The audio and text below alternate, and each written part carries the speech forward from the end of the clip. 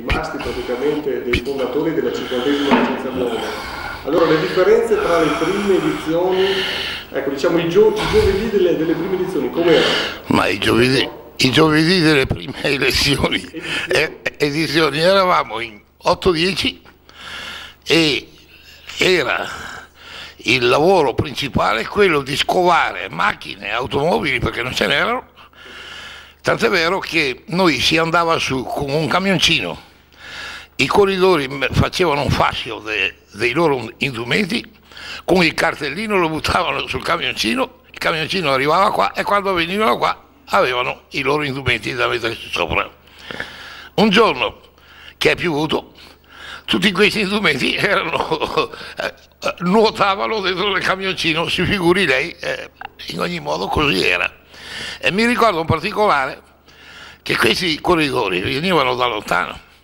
Un direttore di una, di una squadra di Vicenza, eh, dopo la corsa, ai suoi, eh, ai suoi allievi disse, sentite, uno, due, tre, questi tre qua li porto io perché abitano molto lontano.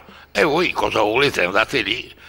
Ma dice, ma guardi che dobbiamo andare a Vicenza. Ma per voi è una sciocchezza, cosa volete?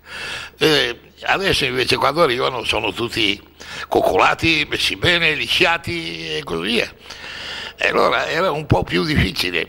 E adesso la corsa, guardi, prende praticamente un anno perché in maggio bisogna fare già in maggio domanda con cauzione di 500.000 lire per la corsa dell'anno 21.